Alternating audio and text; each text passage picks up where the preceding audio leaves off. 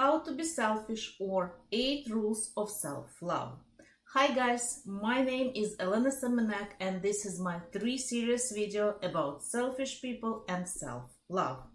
Today is the third video and if you haven't seen the first one, the truth about selfish people, or the second video, 6 ways how to deal with selfish people, make sure to watch them after this one. All the links are in the video description. So, today I would like to talk to you about how to be selfish. The truth is that selfish people never ask this question. So, when people sacrifice their own interests and realize that others ignore their opinions, they start wondering maybe I should put my interest first Maybe I should become more selfish and prioritize my own desires. If these thoughts came to your mind, then let me tell you, you're not selfish. Let me rephrase them for you. How do I take care of myself more? What can I do so other people respect me more? How can I stop sacrificing myself for others and start achieving my own goals? Every person who comes to my personal therapy asks this type of questions. The problem is that you are not selfish enough. You judge and criticize yourself, but forget to prize and acknowledge your good qualities. So today, I will teach you how to be selfish and how to love and respect yourself more. Before we start, my name is Elena Semenek. I'm a psychologist and a life coach. This is my YouTube channel, Psychology of Happiness. Welcome.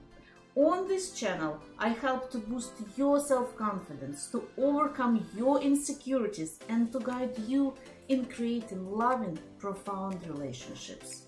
My mission is to help you to be happy and to enjoy your life. So every week here on YouTube, I release a new video about self-esteem, relationships, anxieties, limiting beliefs, and all other essential topics that will help you to manifest your dreams and to become happy and successful. So if you're new to my channel, subscribe so this way you won't miss my next video on another important topic. So let's start talking about how to be selfish. How to be selfish rule number one. Acknowledge your top five best qualities. Think about things that you are good at. Take a notebook and write them down. You can actually write more than five things. I recommend writing as many as you can and then arrange them, uh, listing the top, the five main qualities on top of your list. It's hard to respect yourself and to be proud of yourself if you don't have a clear understanding of what you're good at. We tend to diminish ourselves and treat our skills and talents as though they are nothing special. Let's change that. Write down everything that you're good at. For example, you might be good at organizing things, or uh, you might be good at uh, being on time, or you might be good at cooking or telling jokes or even complimenting other people. So write down anything that comes to your mind. It might be your personal qualities, your professional skills, or your talents. Step number two, how to be selfish. Rule number two is ask a question. When you want to help another person, ask yourself, what do I get from this situation? See how you can modify the result, the outcome, so it's not only beneficial for the other person, but for you as well. For example, your mom is asking you to help her with some paperwork. Before saying okay, think how you can help your mom and get some benefits for yourself as well.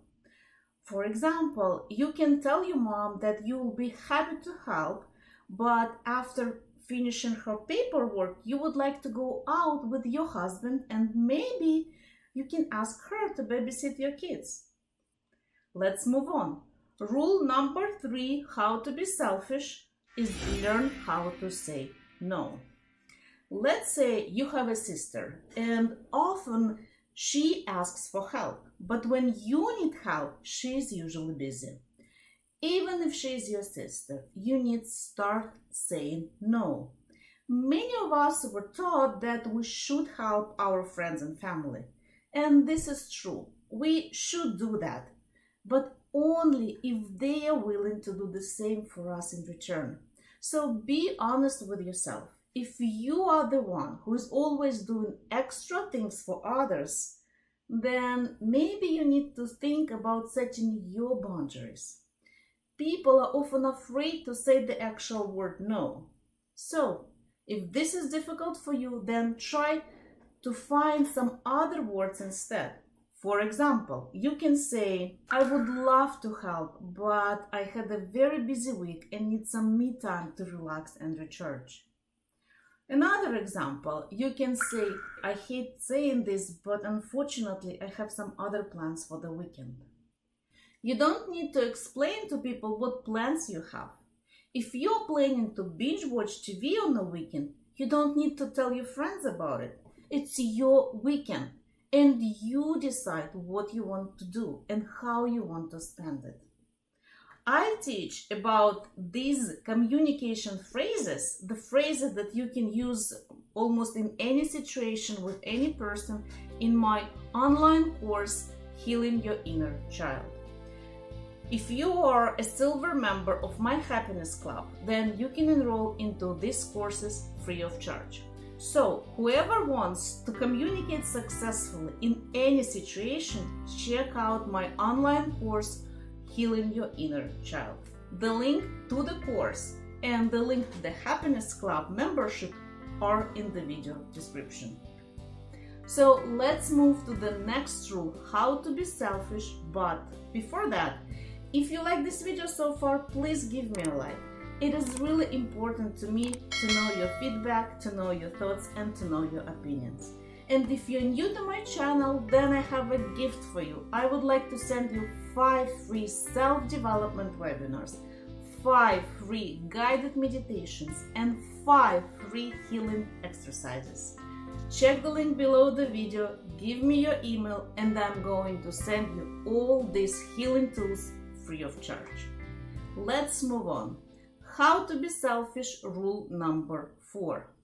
Learn the difference between a healthy relationship and a toxic relationship. Many people are willing to do anything for the ones they love. Love does not equal struggles. Love equals being happy. Love equals joy.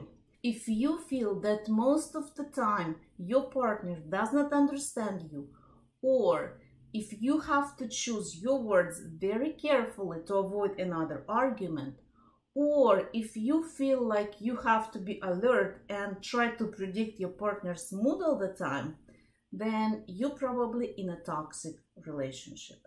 So if you are in a difficult situation and looking for professional advice, please pause the video and type your question in the comments.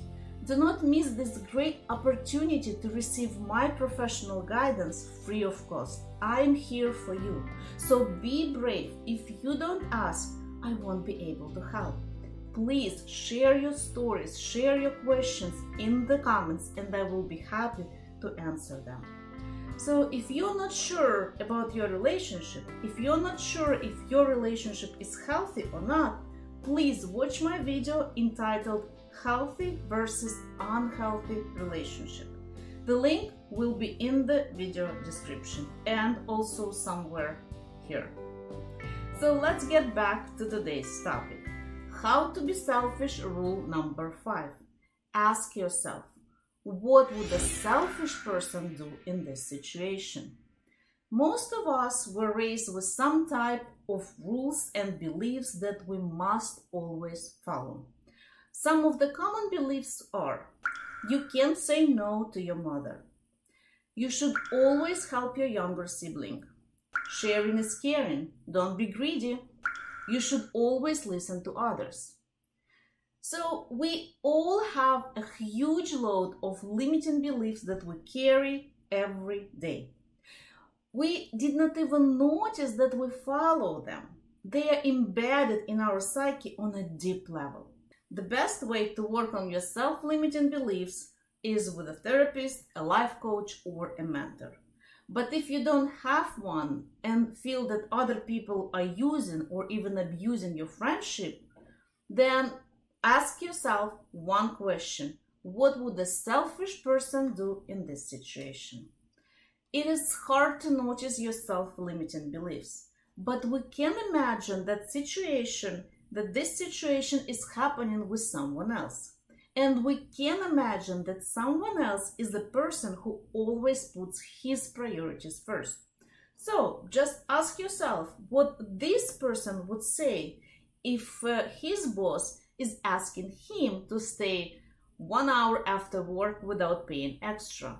What would this person say when their friend calls three times a day and just complains about their life? So when you remove yourself from the situation and imagine that this situation is happening to somebody else, then, and not just someone else, but a person who values their time, their money, and their effort, then you will get a lot of insights. Let's move on. How to be selfish, rule number six. State your needs as clear as possible.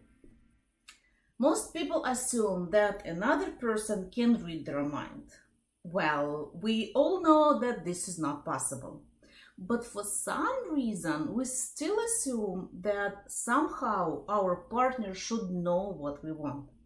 We assume that our parents should know how we feel. And we assume that our friends somehow know what we want. So uh, these misconceptions create a lot of misunderstandings. When our partner is asking us why we have a bad mood, we can get upset and even angry and even uh, blame the person uh, in not being empathetic because we assume that somehow our partner should know what's happening with us. And we can, can get angry just because the partner had to ask us this question. So start being selfish and tell people about your needs, your desires, and your opinions.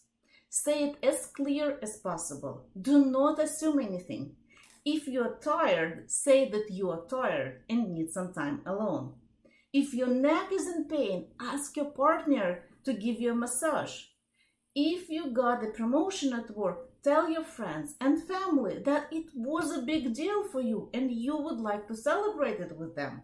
So be selfish about your needs and do not assume that other people can read your mind.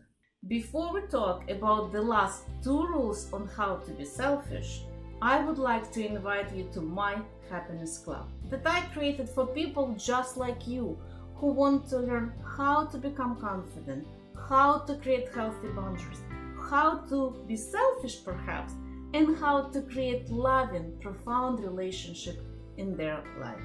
So become a member of my happiness club and receive unlimited instant access to my entire healing database that includes guided meditations, self-development webinars, life coaching techniques, breathing exercises, energy work, art therapy, and my personal support. By the way, also in the Happiness Club, members can enroll into three courses Healing Your Inner Child, Emotional Eating, and Program Yourself for Success.